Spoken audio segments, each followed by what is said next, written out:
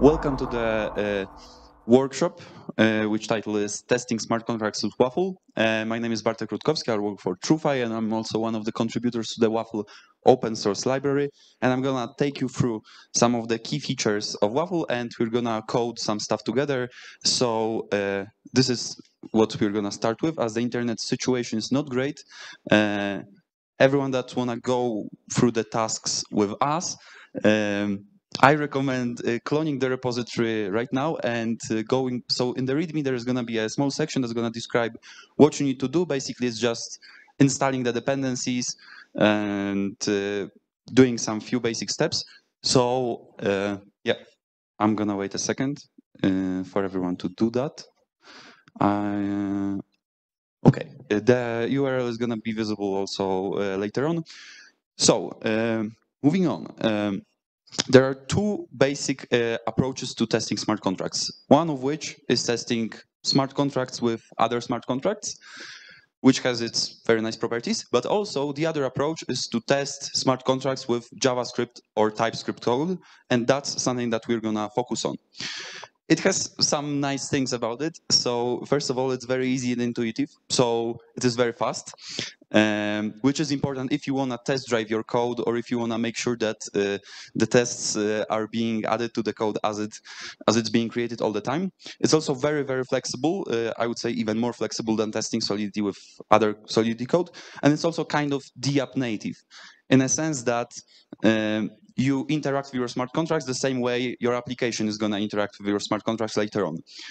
Um, and then moving on to the waffle itself, uh, which is a library that utilizes JavaScript and TypeScript, um, it takes a very, very minimalistic approach. So it's not a very large framework that forces you to follow some certain rules, but it rather provides you with some set of uh, utility functions that just help you with the uh, largest pain points.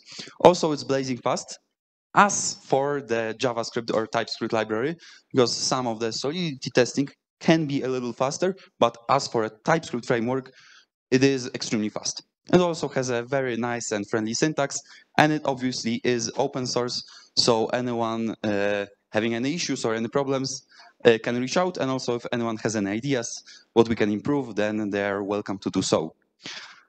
Um, and also what is uh, very important, that Waffle uh, works well with Hardhat, so if you are already using your Hardhat setup, then you can use some of the features of Waffle as a plugin to your Hardhat setup. So you can use either Waffle standalone as a complete testing solution or as a plugin to Hardhat, which is very nice as well.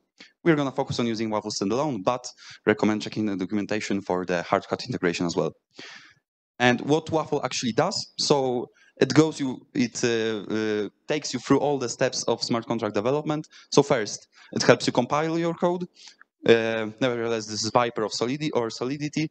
For most people, it's probably going to be Solidity. If you are Team Vitalik and you prefer Vyper, then um, yeah, you can use Vyper as well. Then you can deploy your code, uh, whether you want to actually prepare a, a, deployment script for the mainnet or uh, some other uh, actually working network or just deploy for the testing purposes. And then provides with all the testing utilities like matchers, fixtures, and smart contract mocks I'm going to dive deeper into that later on. And what are the Waffles components? It's TypeScript, obviously, uh, with TypeChain. It's Mocha and Chai, which are uh, JavaScript libraries for just JavaScript testing, but we utilize them here as well. And Ethers.js, which is uh, a very nice library that wraps all the complexities of interacting with the Ethereum network.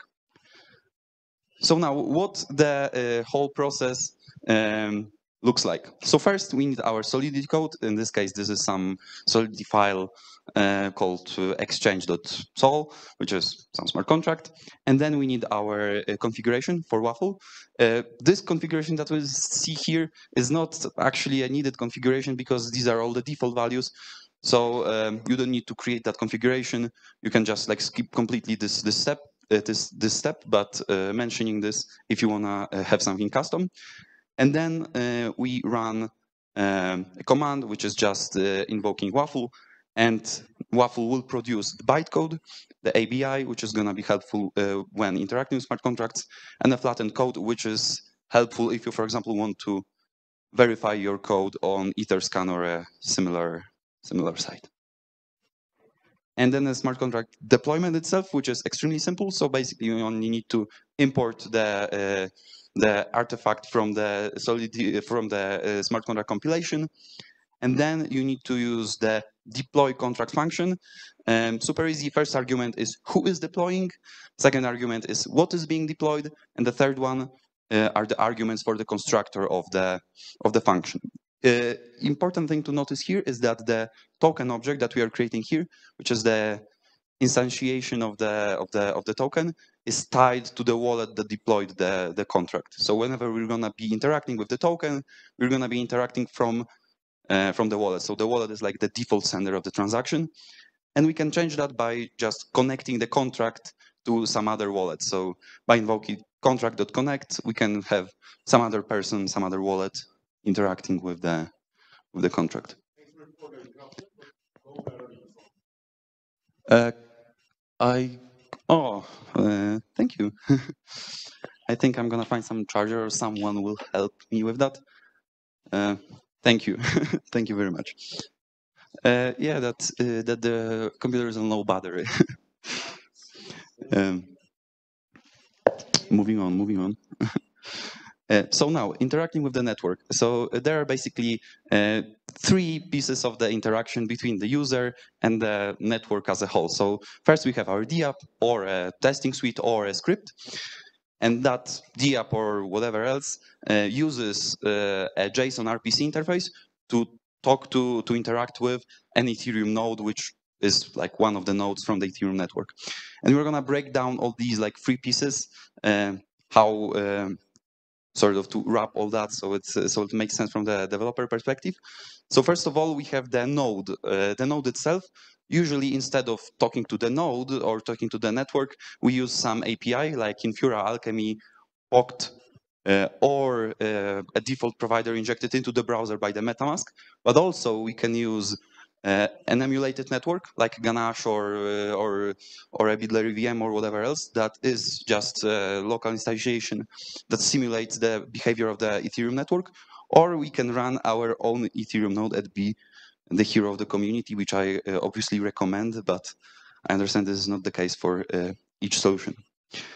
And then uh, when we have the JSON RPC level, uh, we need to wrap the JSON RPC complexities with uh, nicer functions. So we have two libraries, two main, two, two major libraries that um, that help with that. One of them is Ethers.js. Second one is Web3.js. Actually, Web3.js is older. Um, Ethers is like the preferred one by, by me, myself, and a lot of, a lot of my colleagues. But uh, just to mention about that, that, that there are two of them at least. Um, yeah. And what Ethers.js does is that basically it wraps the whole management of the keys. It helps you construct the transaction. So as we see here, we have the private key. Then from the private key, we can create a wallet object, and then we can add a provider of the network, so sort of connect the, the wallet to a link to the particular node, to the particular API of the, of the Ethereum network. And then instead of just constructing some very bulky JSON and creating a HTTP request and sending that to the node, we can just use like like a simple call like wallet.getBalance and uh, we'll get our balance. And the Ethers.js also helps us uh, override some uh, some additional properties of the transaction. So with Ethers.js, we can not only construct like a basic transactions, but also override gas limit, uh, nonce, uh, value, chain ID, whatever else. And then if we construct the transaction, this is like the very bottom line, um, we can just add all these overrides and uh, perform like a very custom transaction. And now we dive into the actual features of the of the waffle because right now we are sort of uh, discovering the whole environment that's around around the uh, the core uh, of the presentation and what waffle can do on the testing field. So first of all, we can have like basic testing. So we can just invoke some function or we can have some value and we can demand the equality. So first equality, but necessarily it doesn't necessarily need to be uh, um, equality, we can just we can also have we can also expect the value to be within uh, a range of some values or to be close to some value, which is kind of dangerous because obviously in the smart contracts we want everything to be uh, super sharp and super precise. But uh, in some cases, for example, if we are doing some calculations based on time, um, this is not going to be super precise, and you can use something like this. Then we can test all the events, and that sort of corresponds to what, what I was talking about um, when it comes to the uh, DApp nativeness of JavaScript testing, because events are not crucial to the logic of the smart contracts it's themselves, but very often they are super important from the uh, DApp standpoint because we need to be notified about uh, some certain action that happened and we can test that very easily with Waffle uh, by just expecting some transaction to emit um, an event with some arguments or like emit multiple uh, events uh, or whatnot. We can also test uh, external calls. So uh, in this situation, this is a very simple thing because we just call a function and then expect the function to be called. But we can have a very uh, advanced use cases where we have like a contracts calling other contracts, and then we can check whether some particular contract within the whole call stack was called by, by some other contract with some particular arguments, which can be um, quite powerful and allows us to check some of the complex cases of, of many smart contract interactions. Then we have the reverts, which are also uh, super cool uh, to test, super, uh, in my opinion, syntax is super cool and are, which are obviously super important to test. So first we can just test whether something is reverted, but we can also be very precise about the uh, reverting reason, so the what the what the error is, um, and also we can, uh, which is one of the newest features, we can check the arguments of the revert. That's one of the newest features of the Solidity, and we have uh, the reflection of that in Waffle as well. Then we have wrapper for the token balances, as this is something that we test very often. So we can check whether some transactions modifies balance of some tokens um, on some wallets. Uh, so we can do this for just one wallet that we expect some transaction uh, to modify the balance of a token of a wallet uh, of particular value, or we can perform that for a pair of wallets or a triple of wallets or whatever, uh, or whatever else. We can also have mock contracts. So mock contracts are just like a artificial things that pretend to be smart contracts. So we can set up a mock contract, uh, deploy, a, deploy a mock contract, and then very easily define the behavior of the mock. So basically just say that mock, when called, uh, when like a particular method on the mock is called, is going to behave in a certain way. So this is going to return something or is going to revert. We can also specify the arguments and uh, we can just basically uh, uh, model any, any behavior on the on the mock. Uh, and then the example of the usage of the mocks would be uh, like this. So we have the some setup that would return contract and a mock ERC20, and then the mock we sort of like program the mock to return um, to return some value, and then we can, for example, check whether our contract uh, correctly reacts to the value returned by the mock. So in the first case, that our contract, uh, after examining the mock, will return false, or in the second case, it will return true, because the mock uh, just returns some value that we expect or do not expect. Um, and the last major feature uh, are the fixtures. So uh, this is uh, an extremely powerful thing because uh, normally when we have like a set of tests, basically like a good rule of testing is that all the tests should be should be shouldn't depend on each other. So each test should have like a separated setup. We should be able to change the order of the test and everything should still work. So basically what fixtures uh, allow us is, uh, is, is, sort of reverting the state of the blockchain to some other state from the past. So basically we can perform some setup transactions, deploy some contracts, maybe uh, perform some initial transactions, and then save that as a fixture and then revoke the fixture the fixture uh, in each test. So each test starts with the same state and we do not need to uh, redo all the transactions and perform all these transactions again. We just sort of point to that state in the past that we want to sort of start from this from this particular moment um, and that uh, that actually is one of the things that make waffle so fast. Um, because uh, yeah and now this is going to be like a first full uh, setup of the tests. So uh, actually this is this is going to be shown also later on a sort of a cheat sheet when you start coding. But here we can go through the whole the whole thing. So first we need to import the stuff from Chai that we need. So we need the expect utility.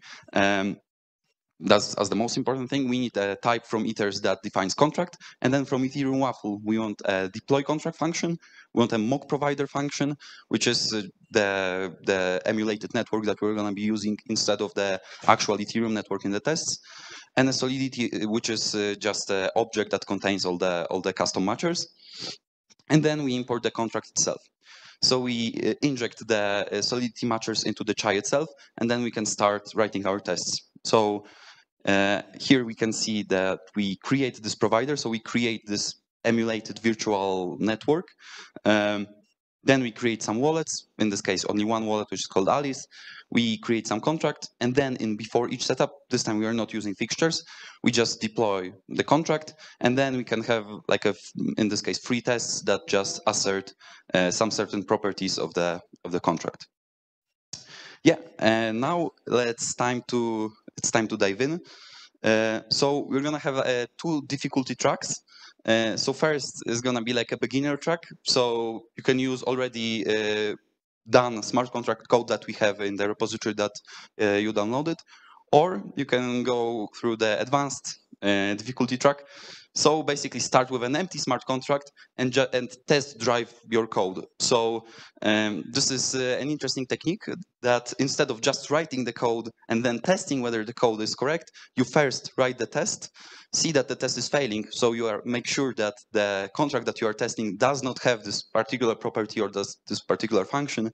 And then after you have the failing test, you implement the smart contract logic and then see the test passing.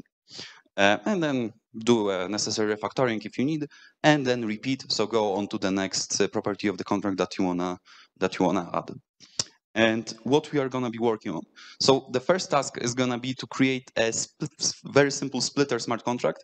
So a contract that is gonna have a split function, uh, and uh, when uh, when some ETH is gonna be sent to that function, uh, while be while uh, while this function is being called, it's just gonna split the ether in half and send to different addresses, and it's gonna revert when the value of the ETH is gonna be zero, and if the uh, value of the ETH is not divisible by two, then we're just gonna refund the remainder to the original sender.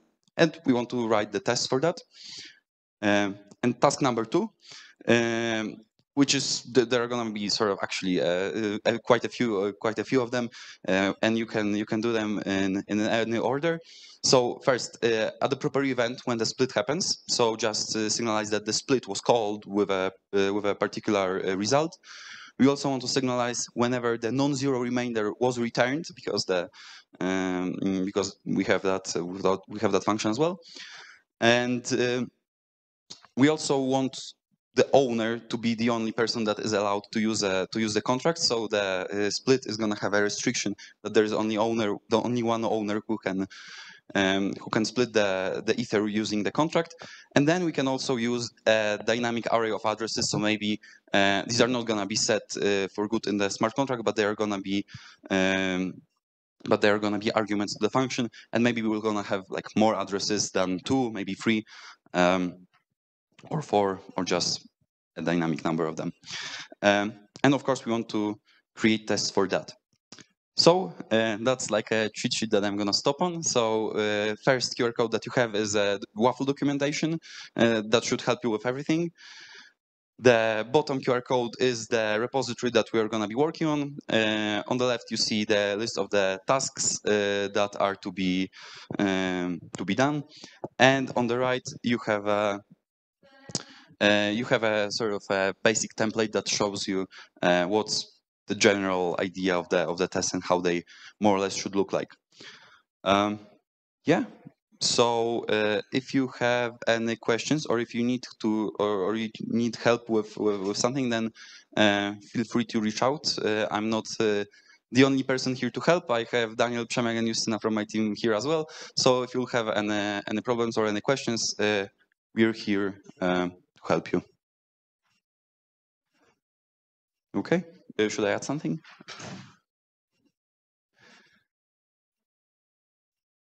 Um, yeah, so are there any questions? Do I need to rep uh, repeat uh, anything? is everything everything clear?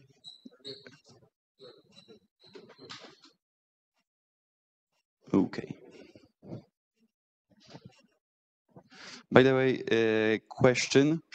Um, were you guys able to download the repository? Because the internet situation is not great so if anyone was uh, was downloading was yeah okay i see some thumbs up so so i guess there was a success. Okay cool. Hmm? oh that's a that's a good point. So actually i'm gonna switch from the presentation uh, Oh, nice. So here's the repository. Uh, this is what it looks like. So the first thing is the contracts uh, folder. Here there is the Ether splitter, uh, the empty one. So if you go for the Solidity implementation yourself, then you should start your work here. Uh, if you want to use the already created contract, it's gonna be here, the Ether splitter ready um, with the split function. It doesn't have all the features from the task two. You can add them uh, later on. And then the test section. So first, some reference in the in the templates uh, file, and the tests themselves should go into the ether splitter uh, tests where everything is uh, set up. And here you can also see that we uh, use ether splitter. So we import the, the empty ether splitter. If you want to use the uh, already created one, you should just uh, swap the name here from ether splitter to ether splitter ready, which basically would be just uncommenting this line and then commenting this one. And that would um, make the change for you. Okay. Uh, yeah, uh, readme, that's, uh, that makes sense. Uh, so actually I'm gonna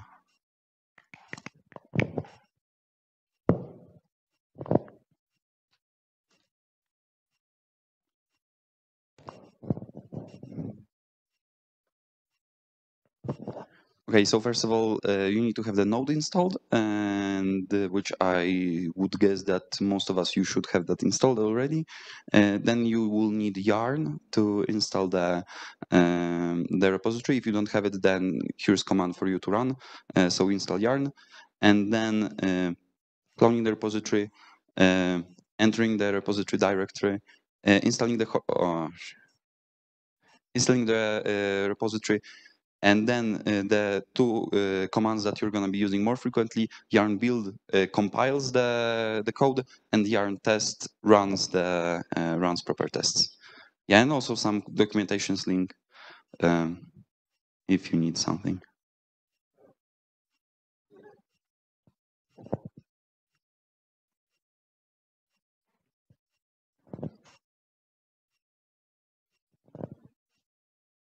Okay, so I think uh, we're gonna give you some time now. And uh, actually, I think in a few minutes, maybe we're gonna do some live coding if someone's gonna be lost and show you some of the things that are here. Uh, but yeah, but for now, uh, giving you some time. So okay, so uh, I'm Jen. I, I don't know. There's a kind of um, panel stuff like that. anyhow, Apparently, yeah. Since I'm just waiting for installing the dependencies. So yeah. anyhow, um, uh, yeah, well, I'm really interested in writing some tests, and uh, when it comes to Web two, there are tons of the um, uh, methodologies and the um, tips for writing tests, right? So, um, kind of, um, kind of, uh, for example, is writing um, kind of um, given when then pattern, or kind of um, or BDD, or the behavior driven test, or that kind of things. So that kinds of things in Web two. So when it comes to Web three it seems like the security is also important. So I think that the, um, uh, uh, the mental model for testing in the um, Web3 uh, world is really important. So I think, uh, so I really wonder you guys are thought in the um, testing, especially in the Web3 world. Yeah, absolutely. So I think that uh, one super important technique and sort of like mental model around like not only testing but uh, developing smart contract as a whole is is that test driven development uh, because uh, like when you're like writing a so i'm actually maybe gonna stand up. So uh, if you're uh, writing a, a, solidity code it's super important that the contract actually does what it needs to do. So that you don't have some unnecessary lines that you don't have any things that were put somewhere and you thought that they were gonna be useful but at, then at the end of the day they ended up being not useful. That all like costs gas um, and and this is all you know like a bloat that that needs to be reduced. So it's uh, so a very nice technique is to actually test drive your contract. So actually write a very explicit expectations about your code and uh, define what you wanna what behavior you want to achieve from the from the contract and then implement only the code that uh, that sort of like mm, performs the logic that that that's it, that is required to um, to fulfill the uh, um, sort of to, to make the test pass. Um, yeah, and then you need to go like through the whole stack. So so there is sort of no no differentiation like whether you should use unit tests or integration tests or or some other type of tests. You probably need to use like all of them. So like you like it's the easiest to just test drive your code using uh, unit tests. So that's these are going to be the tests that you're going to be writing, you know, like most of the time. And then uh, if you like test drive all the functions, test drive all the, you know, like small bits of the logic that, that you need to put in place, then you probably want to move on to the integration tests and see how larger transactions, how like more complex cases resolve, how performing multiple transactions in a row uh, affects the state and uh, sort of like how you know this whole thing uh, behaves. And that that's sort of also not the end of the story because then you need to have like the whole or you should have the whole like testnet deployment you should play around with the whole thing. You need to uh, you, you, also probably should uh, develop like the app or the script that is meant to interact with the smart contracts in parallel to the smart contracts themselves. So all of like these two like remain uh, in sync. Mm, yeah uh, i don't know if there are any other tips that i can think of. Maybe someone can add something. Okay, actually, maybe someone has any, any, any more questions. And yeah. Uh, oh, yeah, the microphone is coming.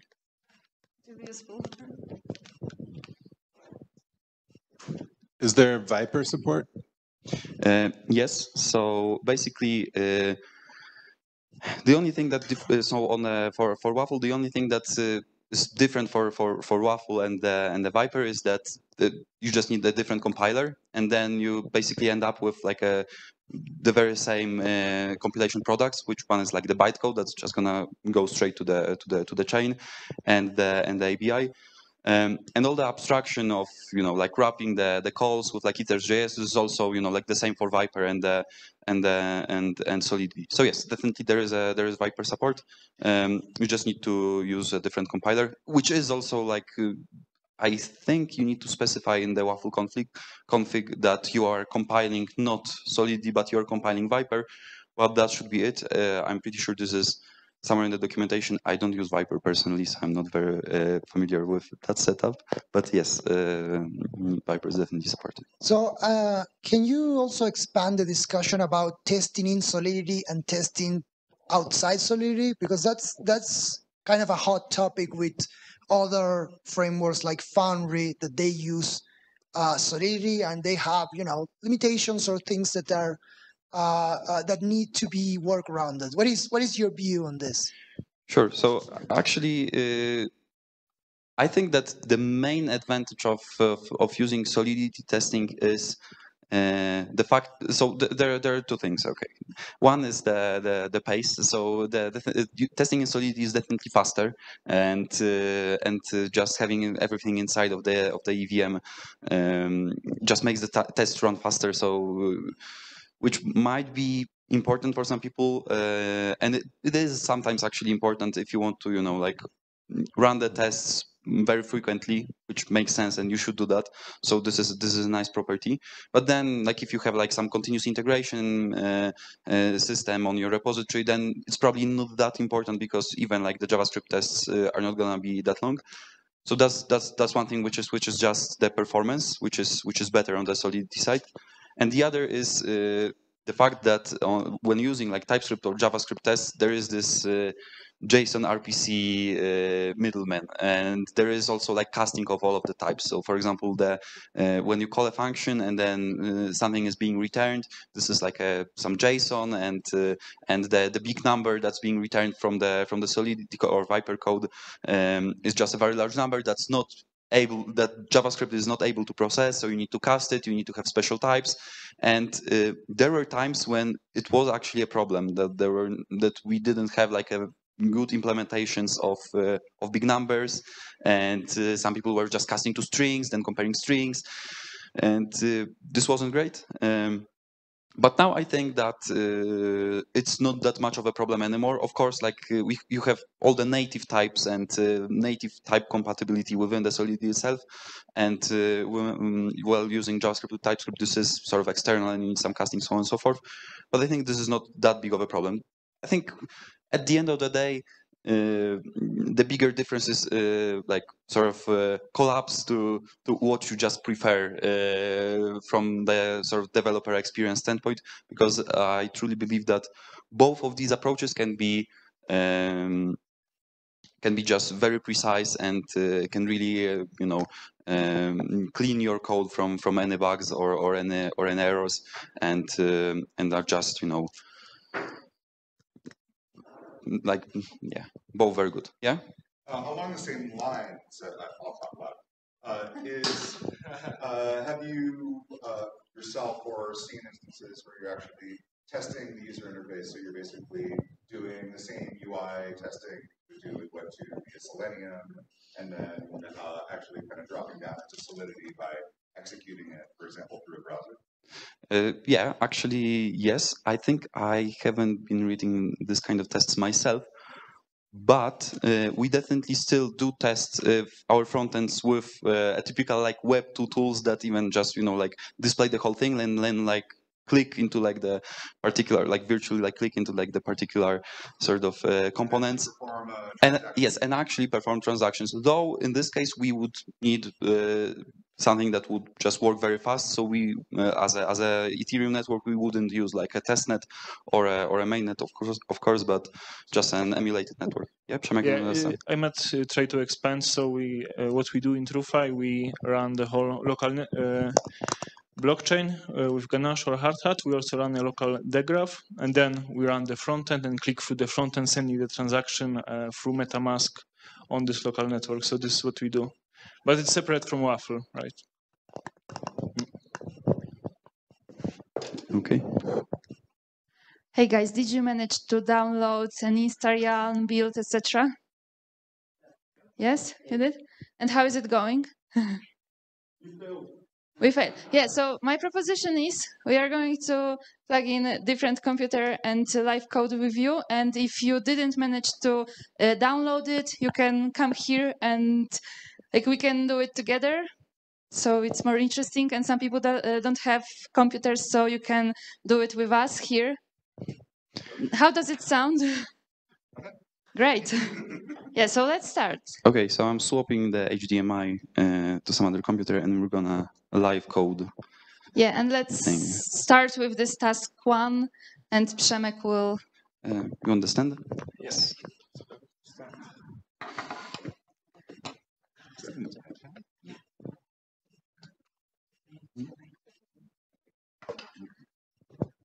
All right, guys. So, do we have volunteer to start the first task? We'll go the uh, harder track. Yeah, so come here. And uh, big uh, round of applause for our volunteer. No, no, no. This, this one. Okay. Yes. So task one is we have um, empty empty contract, empty test, and we we're starting with writing test for one like functionality of the contract. Then we write the the function in the smart contract, and then the test should pass. Się dzieje? Uh, I can help you. Help me around some. So some technical problems. Give us one second. Okay, okay. so we're basically going to mob now. Yes, pair programming for for now, but yeah, mob. Maybe let's remind the exercise. The task. task. Yes, so we want to write s- ether splitter. So, so just a simple exercise. We take uh, an ether value to, to the a function of a smart contract and divide it into two addresses and make sure to return the remainder if it's an odd value. So just something simple. Hey guys, can you see the text? Great.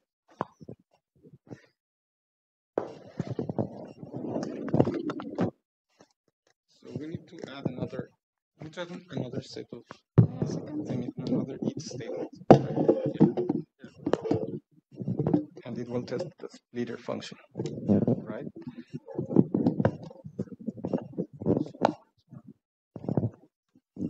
Okay, so we are going to start from the first test. Which which contract is it? Is there splitter or ready the ready one? Just want to see how the function looks like. Right now it's ether splitter and it's empty.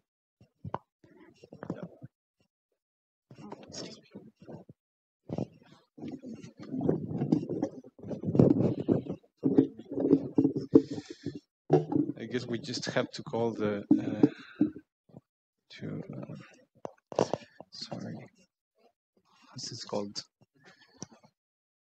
Uh, Ether so we have, splitter? we, we have an instance of splitter below. So take a look at line 30, 31. right. Yeah, there's splitter already right? deployed. There are addresses to be used. Yeah, we have an instance of splitter and we have some uh, accounts like Alice, Bob, Charlie, and David. Uh, and we have to catch the value, right?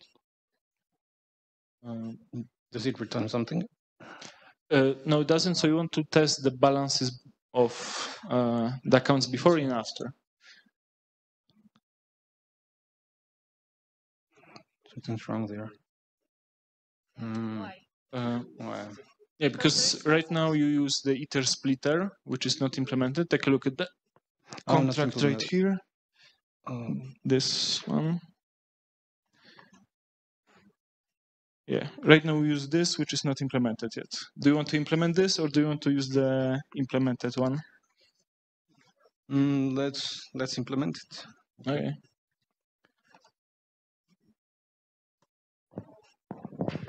Yeah, so that's normal that when we do like TDD, like test driven development, and we want to call some function and see the results of the function, then we just like have like error and we need to first uh, create a signature of the function. Just split the message to value. Let's maybe let's start with just the uh, the function. Let's make the test pass maybe. Let's An empty build function. Skip the return, just make it public.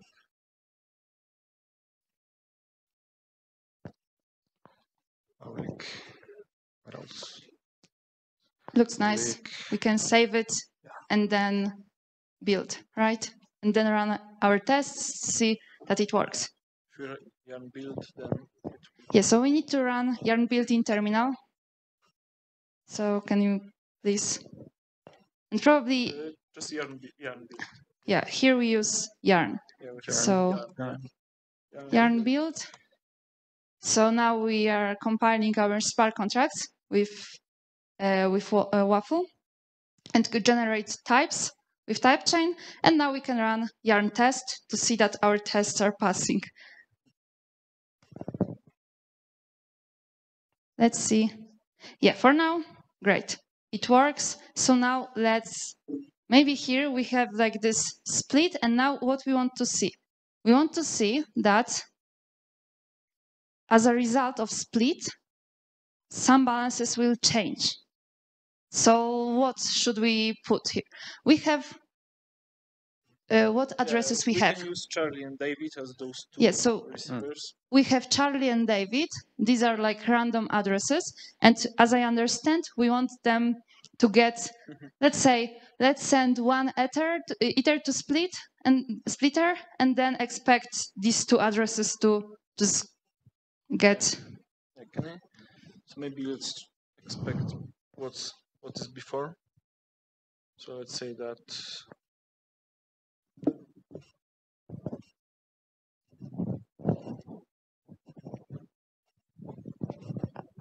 yeah, so, So- I test that Charlie uh, and maybe David have zero before. so maybe let's start with just one address just charlie okay so we can do like proper tdd which is just start with simple example and then go to more advanced ones so right now what we want to do is to first check that the initial balance is equal zero then call this split splitter and split and then let's expect for example this uh, this balance to be equal one Or let's play, let's split ten into five and five.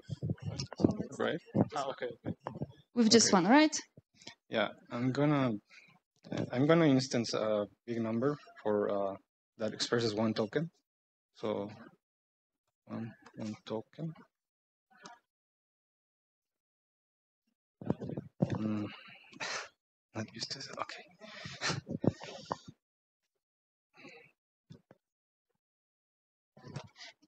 you will need to import big number. Oh, okay, it's Yeah, Yeah, there it is.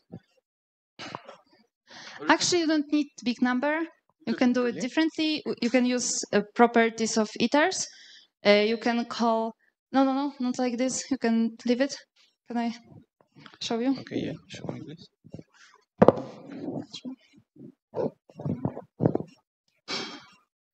Yeah, So we can um, not like this format. I always uh, format one. Let's import ethers, and now one token should be one ether, right? Right. But you you probably want to move it uh, higher, so you can use it in this split function. All right. Uh, Maybe it could like, have. Uh, one second, because we want to pass this as a value. So these are those overrides. Oh, right. Yeah, right, and this right, will be yeah. this value. The function doesn't receive any. Yeah. So this will be this message value, and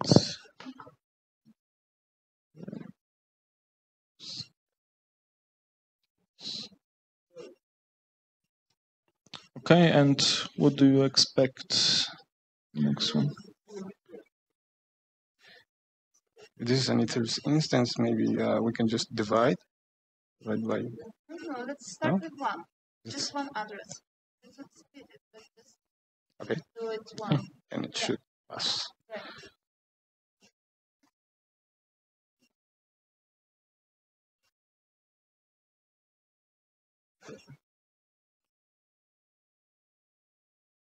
Okay, our terminal is broken.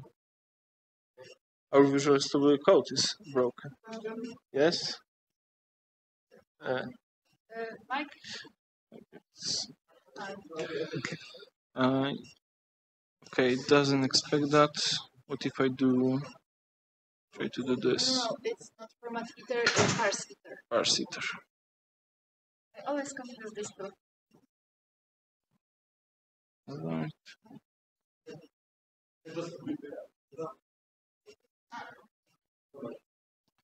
Why is it complaining? Or should I come to you?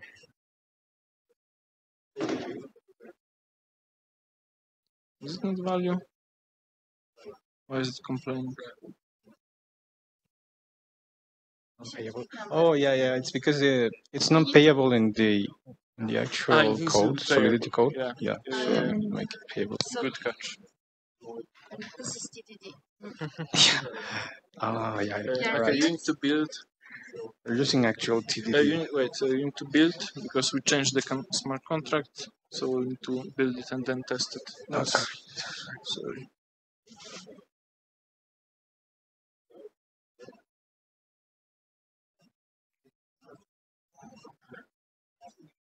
I'm used to use it alongside hard hat, so it's just one command. But Okay. Yeah, good. We're on a red test, so now we can implement it. Nice. Okay. Do you want to break Zero. or do you want to continue? Mm, let's continue. Okay. Yeah. Let's go on.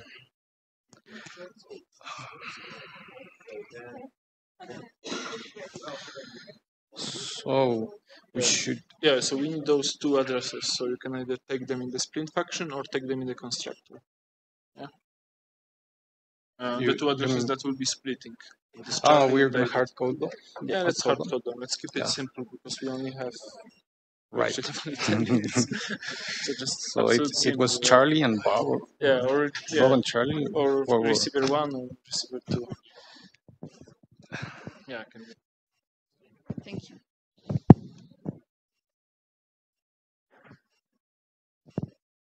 You need to set the properties first, right? We're gonna take the two addresses that we split uh, in the constructor. Address payable.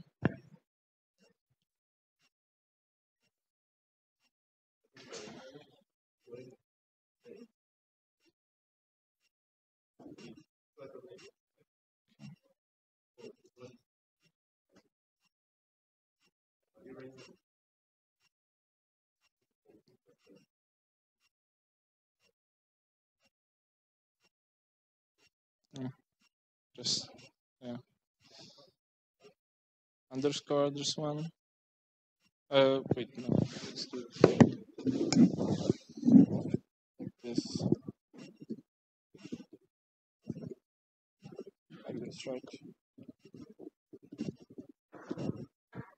Yeah. And then this is it. And then this is this. Yeah, so we have a constructor with two addresses and we'll be splitting the funds into those two. Maybe we can start implementing the split right away. We have the message value, so we'll do address one that's transfer or send.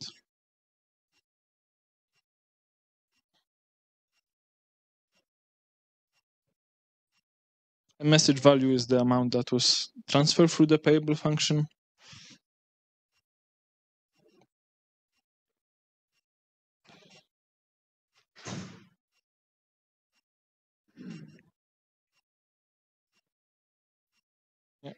Gently test. Yeah. So this would be half of it, right?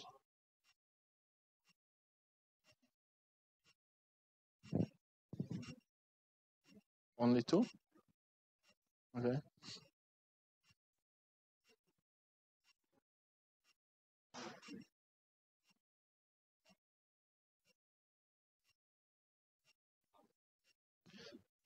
Okay, what's going on?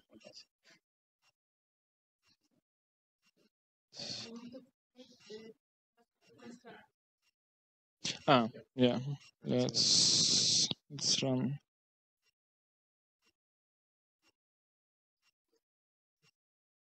Okay, our code is hang has hang again. the constructor. Not yet, but it's hanging. So we don't have a lot of time, but uh, if anyone would like to continue, we'll hang around somewhere here. We can help. Shit. It's frozen. Cat. Shit happens. no. Dobra. Uh, O, daj. Dobra. Okay, guys, we need to we need to finish. Um, so we didn't manage to do a lot within a short period of time and not very perfect internet situation. But uh, if any one of you wants to continue, then we are here like uh, outside of the outside of the room, and uh, we have our booth. So uh, you can drop by, we can talk, and we can help you to uh, continue with everything. So yeah, Thanks a lot and uh, see you around at Devcon.